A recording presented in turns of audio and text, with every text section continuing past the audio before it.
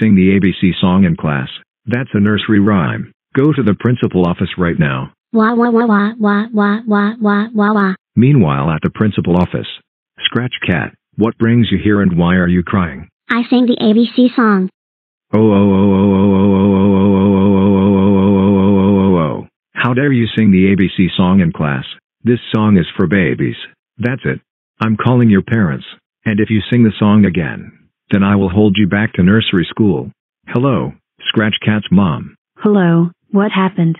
Scratch Cat sang the ABC song in class. That was a nursery rhyme. He did what? Oh, oh, oh, oh, oh, oh, oh, oh, oh, oh. He will be so grounded. Bye bye. Have a great day.